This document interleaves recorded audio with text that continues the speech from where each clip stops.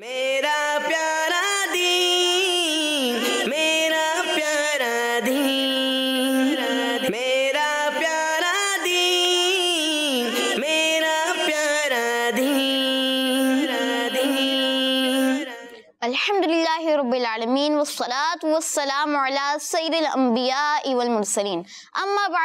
बिल्लाहि मिनश शैतानिर रजीम बिस्मिल्लाहिर रहमानिर रहीम सब मिलकर पढ़िए सलात वस्सलामु अलैका या रसूल अल्लाह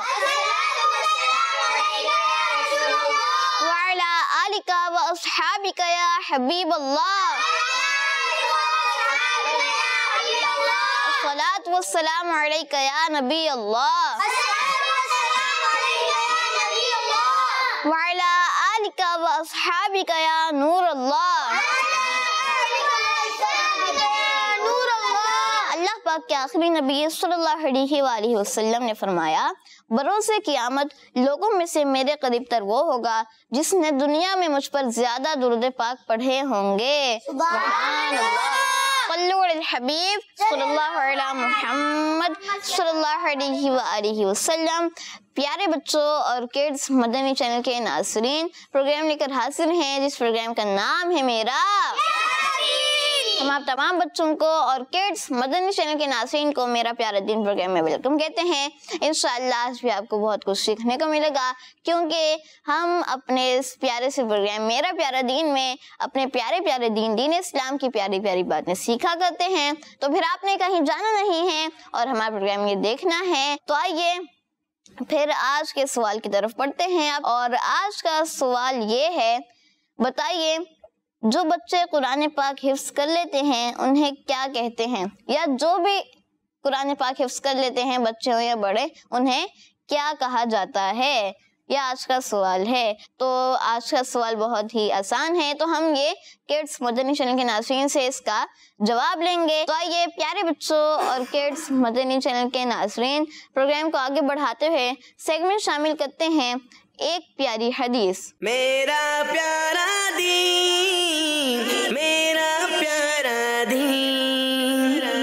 बच्चों और किड्स मदनी चैनल के नाजरीन सेगमेंट है एक प्यारी।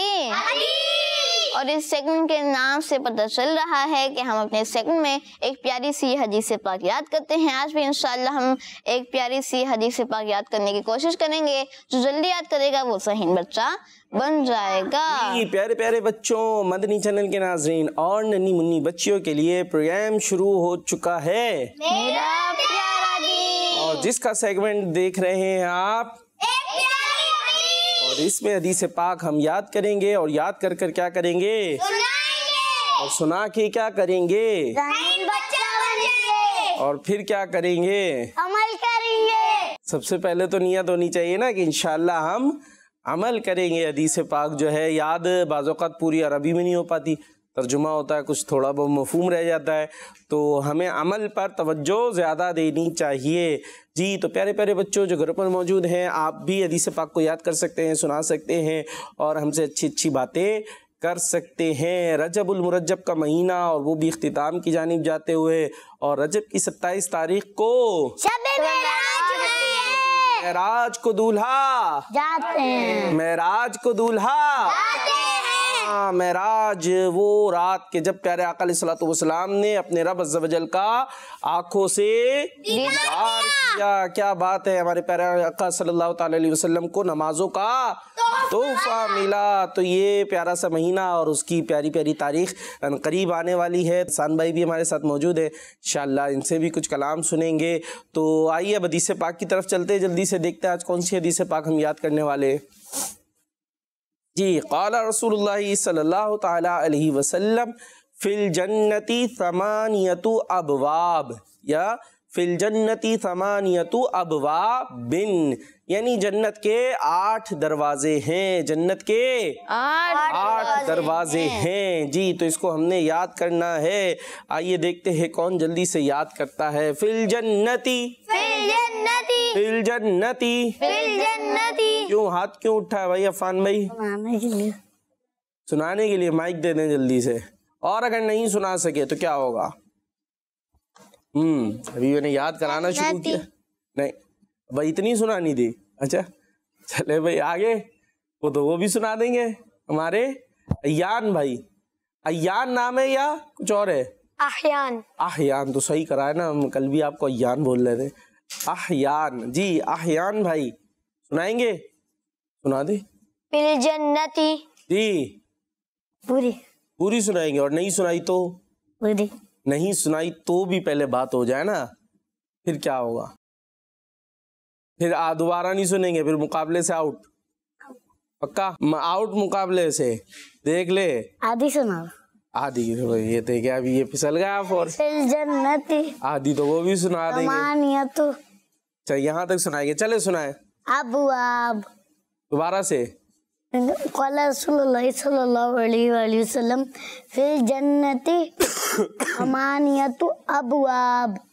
हम्म माशाल्लाह जी तर्जुमा भी सुनाए जन्नत के आठ दरवाजे हैं आ- आठ है या आठ है आठ देख आठ। ले आठ को आठ भी तो हो जाता है ना जी हाँ नहीं सुनाएंगे हाथ खड़ा करेंगे खाली फिल जन्नती। फिल जन्नति। फिल जन्नती। फिल जन्नती। समानियतु अबवाब। समानियतु अबवाब। समानियतु अबवाब। समानियतु अबवाब। समानियतु अबवाब। समानियतु अबवाब। सुनाए पूरी। फिल जन्नती समानियतु अबवाब। जन्नत के आठ दरवाजे। जन्नत के आठ? या आठ? आठ। कितने? माइक में। आठ। फिर आठ हो गया। नून कहाँ है? इसमें नून कहीं दिख रहा है? अलिफ मद्दा उसके बाद टे है और फिर दो हे दो चश्मी है। आठ। आठ। ठीक है जी जन्नत के आठ दरवाजे। हैं। जी अहयान भाई।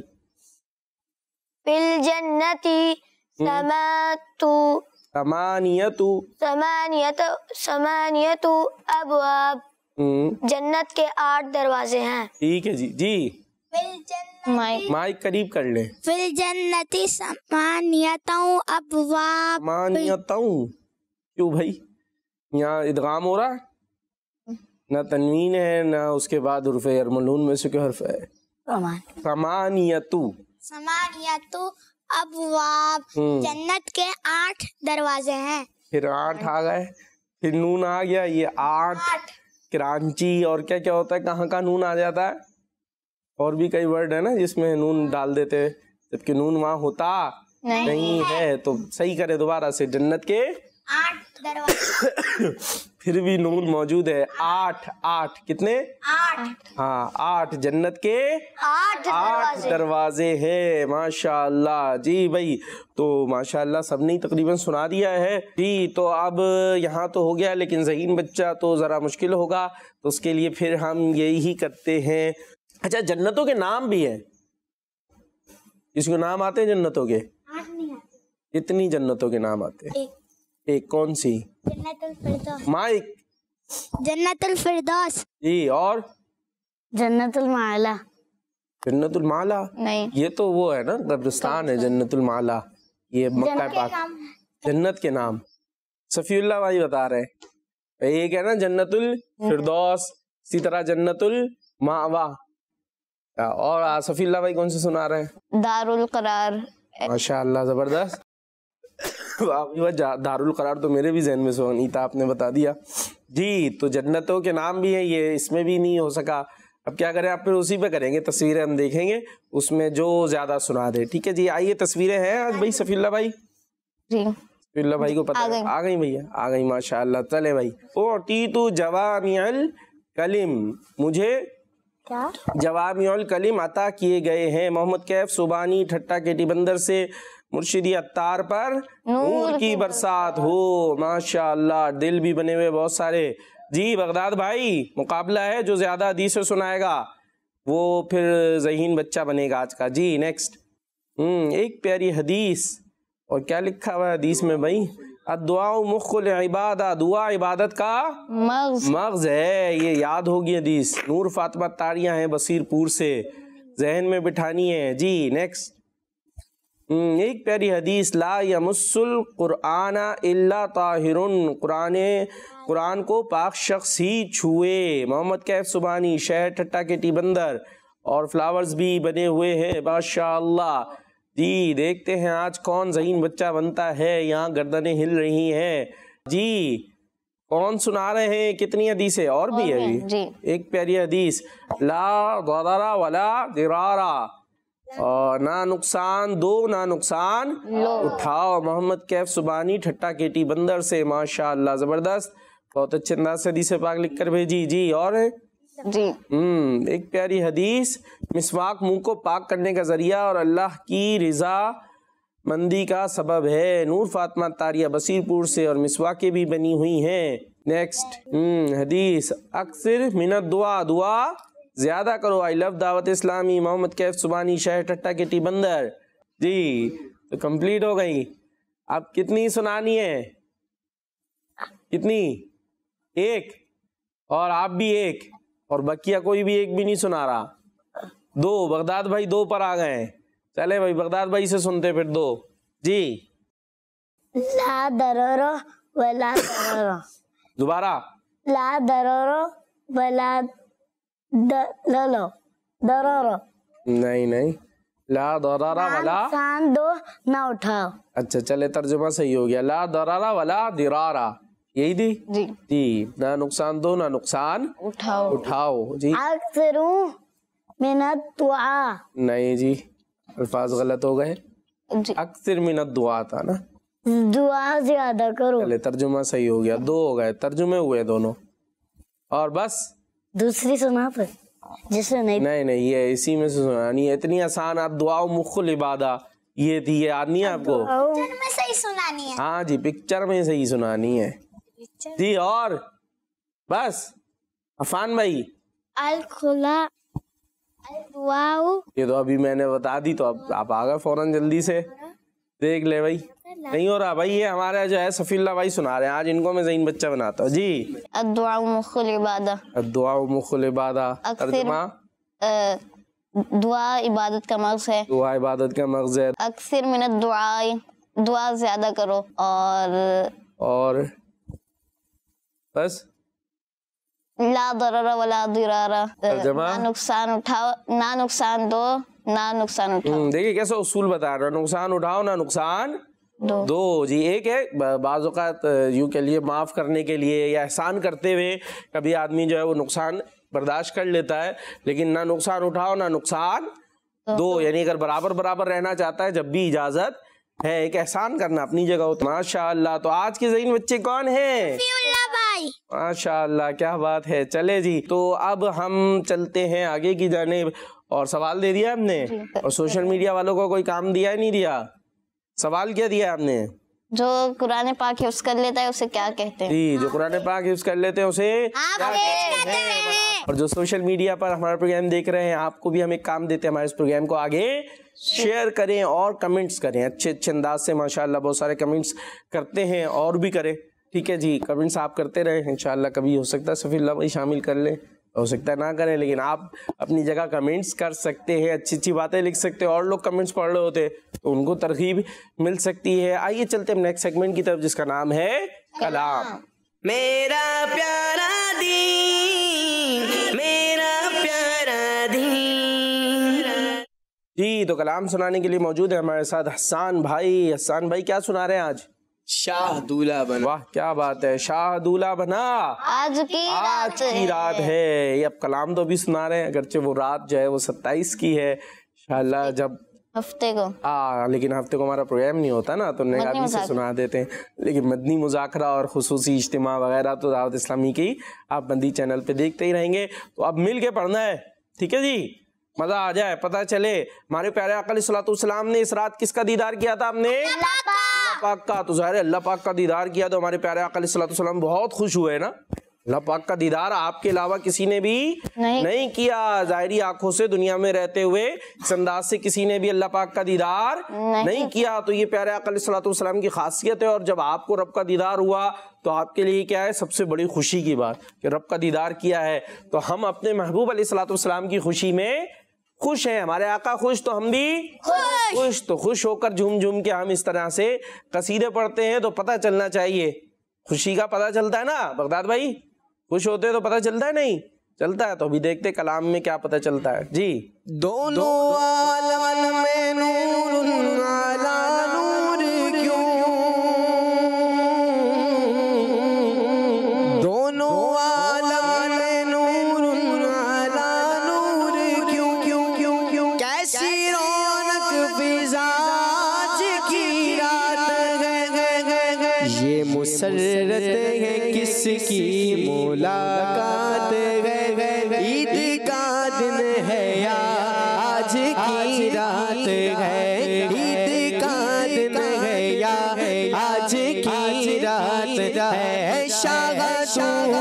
बना आज की रात बोलो शाह दूल्हा बना आज की रात है शाह दूल्हा बना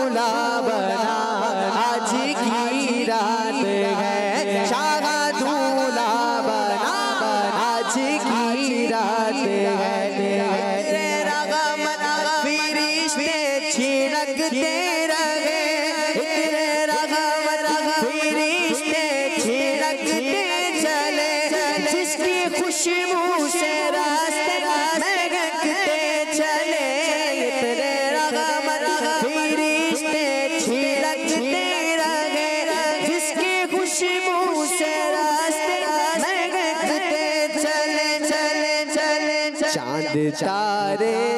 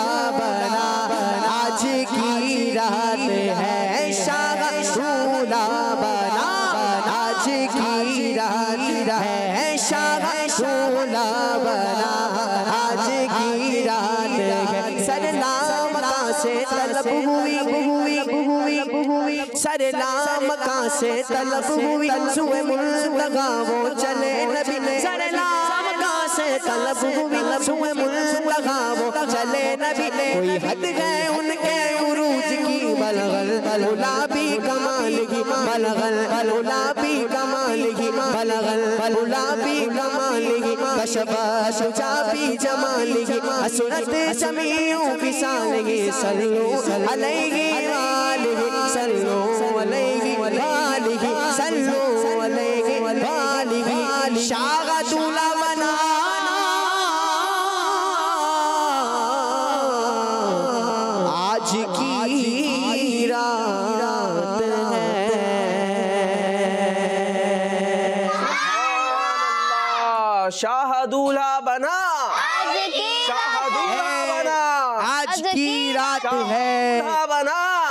आज की रात है। प्यारा प्यारे कलाम और इस तरीके का एक माहौल आपको दावत इस्लामी के माहौल में नज़र आएगा। तो यूँ ही दावत इस्लामी के मदनी चैनल के साथ रहे इज्तिमात जो शब महराज के हवाले से खसूसी होंगे उस पर भी तशरीफ़ लाएँ। मदनी मुजाकरा और जो फैज़ान मदीना आलमी मदनी मरकज़ जो कराची वाले हैं वो यहाँ आएँ। फिर देखिए कि ऐसा एक माहौल बनता है और एक जो रिक्कत और प्यारे अकल सलाम से मोहब्बत वो सब इन एक नए मज़े आपको यहाँ मिलेंगे। तो आपने हमारे साथ रहना है। तो अभी आगे भी हमने चलना है माशाल्लाह सान भाई ने कलाम सुनाया। दोबारा भी देखे मौका मिलता है तो आपकी तरफ़ आते हैं। और अब हमारे सफ़ीउल्ला भाई का आज कौन सा सेगमेंट है सफ़ीउल्ला भाई? करामत साहब। करामात साहबा में करामत सुनने चलेंगे हम साहब ये नबी की। आइए देखते हैं आज कौन सी करामत सुन रहे हैं। तो चलते सेगमेंट करामाते साहबा। मेरा प्यारा दीन। बच्चों और किड्स मदनी चैनल के नाजरीन सेगमेंट है करामाते।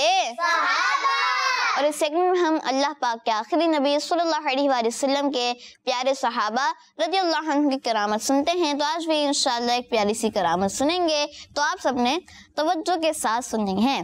प्यारे बच्चों, आज हम जिन सहाबी नबी रदी अल्लाह की करामत सुनेंगे। उनका नाम है हज़रत सईद बिन जैद रदी अल्लाह हज़रत सईद बिन जैद रदी अल्लाह क्या नाम है?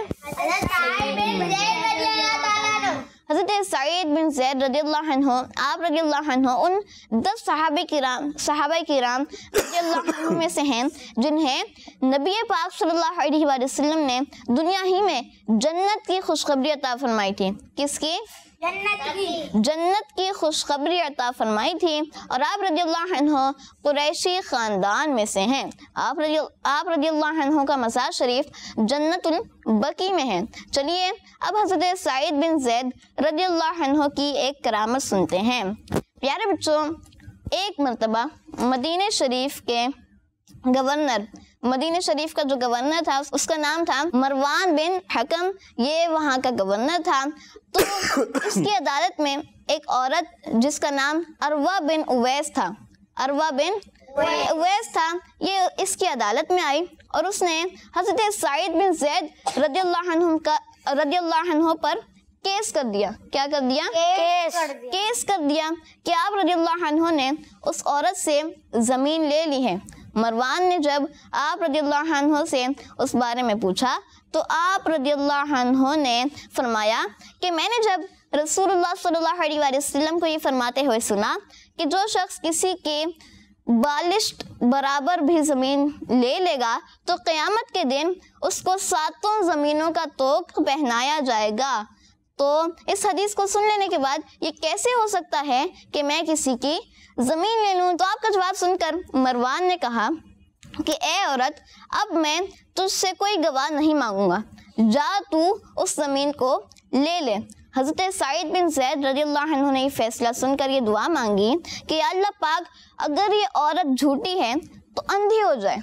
अगर ये औरत झूठी है तो अंधी हो जाए और इसी ज़मीन पर मरे। चुनाचा इसके बाद ये औरत अंधी हो गई। मोहम्मद बिन जुबैर बिन अब्दुल्ला रज़ी कहते हैं कि मैंने उस औरत को देखा कि वो अंधी हो गई थी और दीवारें पकड़कर इधर उधर चलती फिरती थी। यहाँ तक कि वो एक दिन उसी ज़मीन के एक कुएँ में गिरकर मर गई और किसी ने उसको निकाला भी नहीं और आप रजील्ला की दुआ कबूल हो गई। अल्लाह अकबर अल्लाह अकबर। क्या किया था जी? पता चला कुछ? क्या बताया उन्होंने? उन्होंने बताया माइक में तो बताएँ। औरत ने हज़रत सईद बिन जैद अल्लाह जो कि क्या थे? सहाबी हाँ उन उनके ऊपर केस कर दिया और झूठा केस था ना? पहले साहबी नबी तो किसी की ज़मीन कब्जा नहीं कर नहीं करेंगे। आज लोग जमीनों पे कब्जे कर लेते हैं किसी के छीन लेते हैं। लेकिन साहबी रसूल तो किसी की ज़मीन पे कब्जा नहीं करेंगे। उसने तो झूठा दावा किया तो फिर क्या हुआ?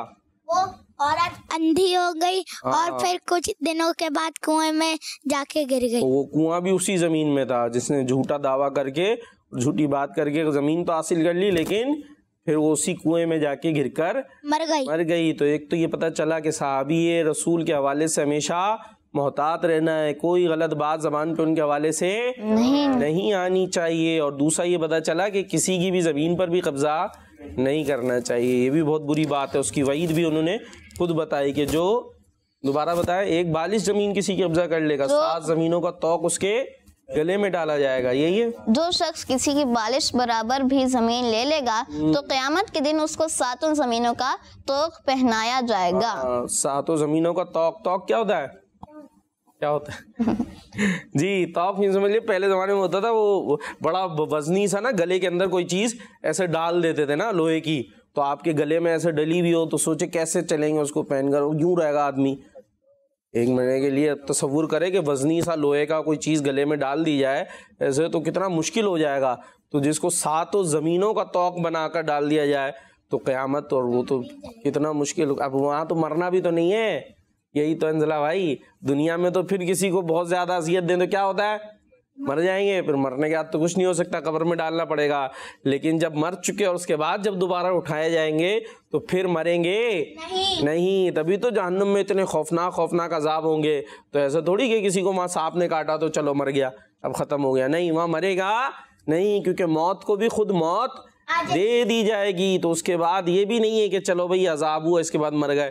छूट गए तो वहाँ छूटना नहीं है। तो मौत भी नहीं आएगी चाहे कितनी भी सख्त अजाब दिया जाता रहे मौत मौत को भी मौत मौत ख़त्म कर दी जाएगी ना? मौत ख़त्म कर दी जाएगी यूँ मौत को भी मौत आ जाएगी। जी तो हमें दोनों बातें पता चल गई साबी रसूल के हवाले से सख्त एहतियात की ज़रूरत है और किसी की ज़मीन पर भी बालिश पर बालिश तो समझते ना अफान भाई? बालिश भी नहीं समझते? बाल बालिश देखे भाई बालिश ये होती है ना ये। बालिश समझ में आई? ऐसे ही, एक बालिश दो बालिश से करते अब आई समझ? नहीं आई? हाँ। ये बालिश पर ये इतना कितना है? बालिश। बालिश। तो ये एक बालिश भी अगर किसी ने ज़मीन पे कब्जा कर लिया तो उसका ये अजाब है। तो एक बालिश पे तो नहीं करते ज़ाहिर है ज़मीन तो ज़्यादा ही होती है। तो इतनी सारी इतनी सारी ज़मीन होती है उस पर कब्जा कर लेते हैं तो हमें और अच्छा बच्चों के लिए ये कि वो छोटी छोटी चीज़ों पे कब्जा कर लेते हैं। किसी के शॉपनर पे कब्जा कर लिया। किसी की पेंसिल पे कब्जा कर लिया किसी की चीज़ पे कब्जा कर लिया तो ऐसा भी नहीं करना है। तो अब कॉल्स की तरफ़ चलना है भाई सफील्ला भाई। जी। चलना है? पक्की बात है? चले भाई कॉल्स की तरफ़ चलते हैं। गुलाम और मैं हूँ अहमद यान अत्तारी हम दोनों भैया तोसा शरीफ से हम कलाम सुनाएँगे। ए खत मेरे सुन की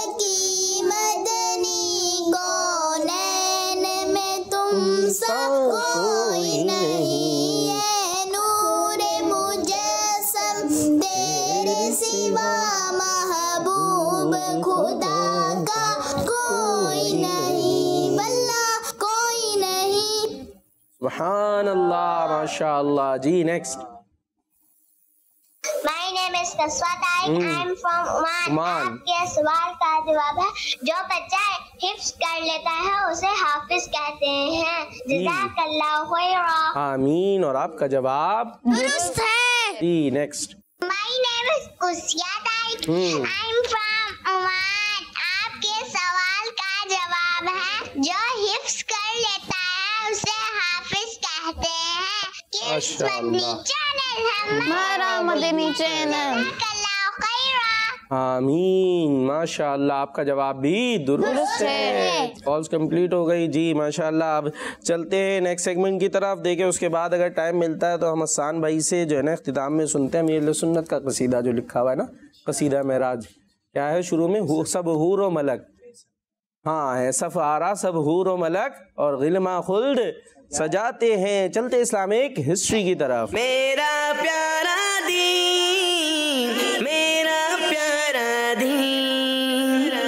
इस्लामिक हिस्ट्री जिसमें हम सुन रहे हैं हज़रत उमर फ़ारूक आज़म अल्लाह तु के बारे में और आपके फ़रामीन हम सुन रहे थे। आपने जो हमने कल सुना था कि सबसे अफजल कौन है जो?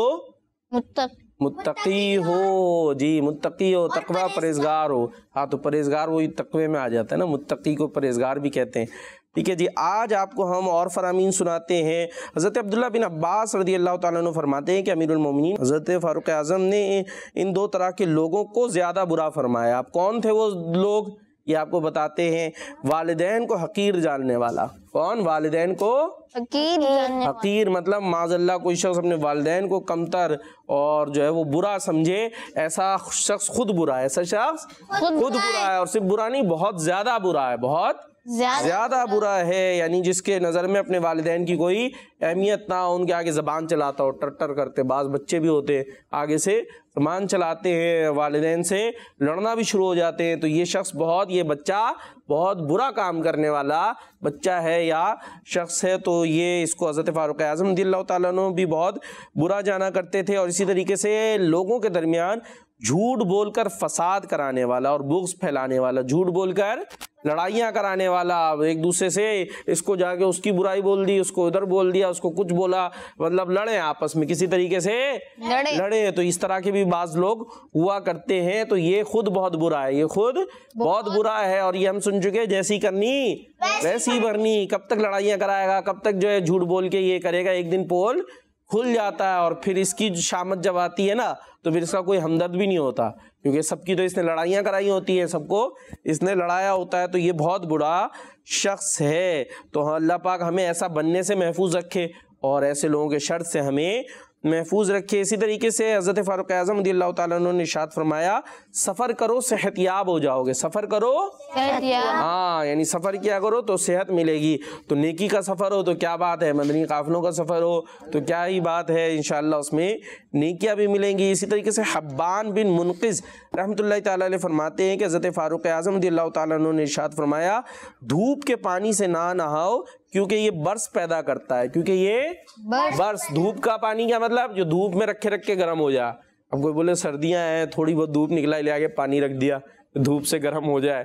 तो फिर उससे नहा रहा है। तो ये बर्स बर्स है ना सफ़ेद सफ़ेद दाग देखे होंगे बाज लोगों को होता है। पूरे जिसम पे बड़े बड़े सफ़ेद सफ़ेद दाग हो जाते हैं। तो ये धूप के गर्म पानी से नहाने से मना किया है कि इससे बर्स की बीमारी हो सकती है। क्या कह रहे हैं बगदाद भाई? दांतों से भी हो जाती है इससे? नाखून खाने की हाँ नाखून खाने से जो है, दांतों से तो दांतों से नहीं खाएँ नेल कटर से काट लिया करें। और इसके साथ हमारे प्रोग्राम का वक्त भी अख्ताम को पहुँच रहा है, और हमारा प्रोग्राम जो है, कलाम पर अख्ताम पसीर होगा। आपने हमें दुआओं में याद रखना है किड्स मद्दी चैनल भी देखते रहना है, और लोगों को आगे दावत भी पहुँचानी है मद्दी चैनल और किड्स मद्दी चैनल देखने की। इन कलाम सुनते हुए प्रोग्राम मरहबा मरहबा मरहबा मरहबा